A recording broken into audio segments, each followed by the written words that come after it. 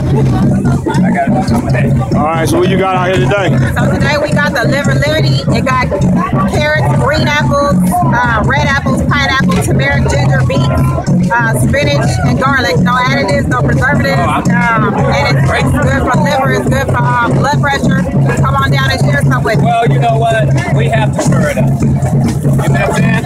Because they done been, they done been too, a lot of people have been just too,